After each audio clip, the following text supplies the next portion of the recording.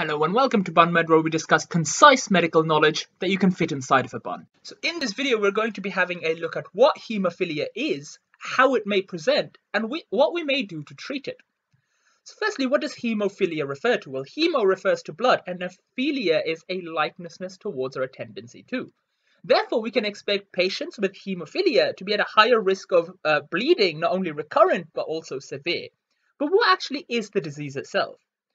Well, hemophilia is either a deficiency of factor VIII in hemophilia A or deficiency of factor IX in hemophilia B. And the thing to note is that uh, factor VIII deficiency or A is significantly more common than hemophilia B. Now, the chromosomes which code for uh, the factor VIII and factor IX genes are actually the X chromosome. So therefore, these conditions are X-linked recessive conditions. And one thing to note is that even though uh, most cases of hemophilia A and B are inherited, up to 30% of hemophilia cases uh, may be a sporadic mutation and therefore have no link to the parent whatsoever. Now, a various um, number of mutations may actually go on to cause hemophilia A and B, but the one we're going to just be focusing on a little bit is this thing known as the flip tip inversion that's often seen in severe hemophilia A. So how does this come about? Well, let's have a, a, review of it. So here you can see we have an X chromosome and the Y chromosome. And what you'll notice is that the X chromosome is significantly longer in length than the Y chromosome.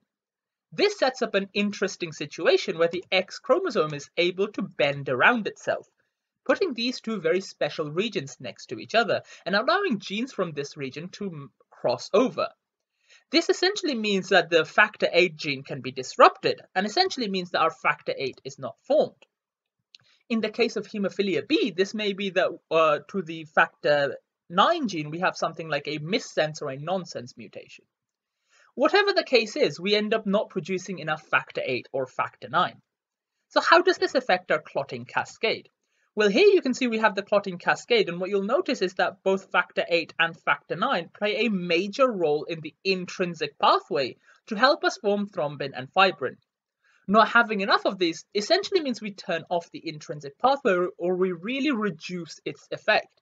And therefore, we are simply not able to form enough fibrin, and therefore we cannot stabilize our uh, platelet plug using fibrin. So which kind of groups of people do we tend to see hemophilia A and B in? Well, we often tend to see this in males as they are X-linked recessive conditions. However, there may be exceptions to the rule where we may see hemophilia in females. And a condition like this may be something like Turner syndrome. We don't have to focus a great deal of detail on them. It's just good to know a, um, an alteration to the rule that might occur. So what sort of symptoms might we expect to see in patients with hemophilia A and B?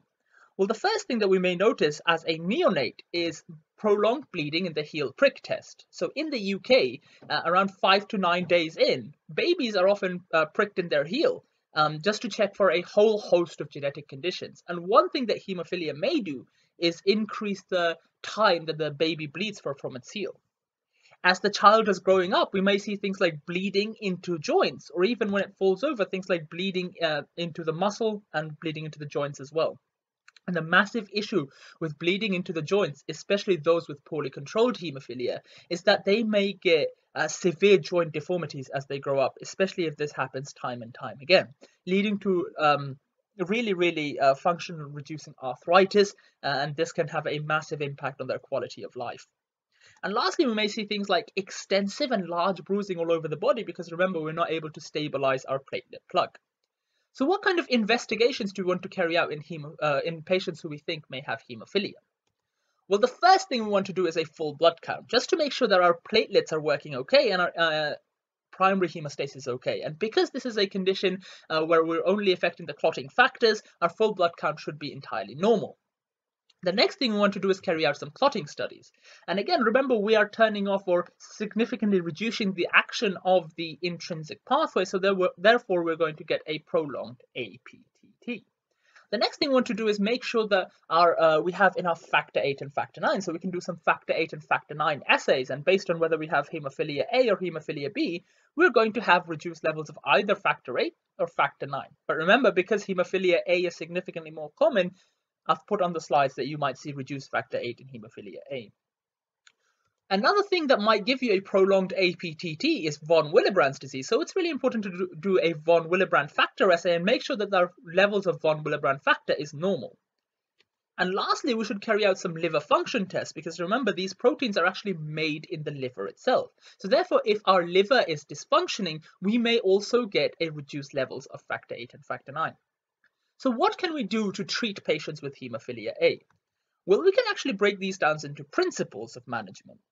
And if, say, for instance, we're trying to stop bleeding or uh, prevent bleeding from occurring uh, in patients with hemophilia, the things that we can do is give them regular recombinant factor 8 or factor 9, essentially replenishing their levels of factor 8 and factor 9 and reducing their likelihood of bleeding. If they have a spontaneous bleed or this is their first presentation, what we may do is give some on-demand treatment. If the bleeding is somewhat mild, we may give things like tranexamic acid, which is an antifibrinolytic, which essentially means we stop the breakdown of the fibrin sheath. And we may give desmopressin, this drug which helps to release uh, some factor from our endothelial cells. If the condition is severe and we have some severe bleeding, we may give a bolus of recombinant factor VIII or factor IX based on which hemophilia they have. Of course, it's very, very important to take the whole patient into consideration and take a holistic approach. And this may mean uh, involvement of a MDTs to suit the patient's needs. One interesting thing to understand is that uh, recurrent exposure to recombinant factor VIII and factor IX might mean that the patient develops autoantibodies against factor VIII and factor IX, um, meaning that they become less uh, useful at preventing bleeding. And the patient therefore may develop a tolerance to it. In these cases, we can use some kind of bypassing agent to bypass the action of factor 8 and factor 9. And an example of this might be something like NovoSeven or activated factor 7 concentrate, which will use the extrinsic pathway, uh, just boost the action of the extrinsic pathway rather than use the intrinsic pathway. And lastly, and one of the most important points to make is it's very important to take the whole patient into account and take a holistic approach. And this requires the action of a multidisciplinary team. That concludes the video. Hope you guys found it useful. Please feel free to share and subscribe. And if you have any comments, leave them below and we'll get back to you as soon as possible. See you in the next one.